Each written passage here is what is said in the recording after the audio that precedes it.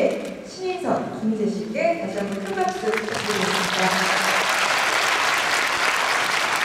아, 여러분 아쉽지만 이제 마지막 무대만은 아, 네요. 네. 마지막 무대만을 남겨두고 있는데요. 대한민국 팬군 혼 그리고 정신하는 어떻게 떠오르시나요?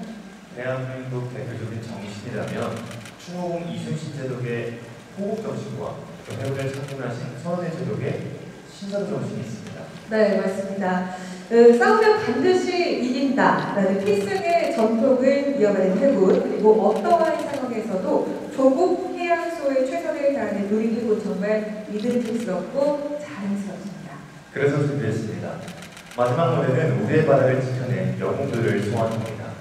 국난을 극복하고 조선을 승리로 이끈 추모공 이순신 제독의 필승 제네와 신하루 정신을 바탕으로 해군을 창군하신 선원의 제독의 창군 정신 마지막으로 목숨을 바쳐 우리의 바다를 지켜낸 선배 전우들의 이야기를 표현한 창작한 바다 지키자 이 바다입니다.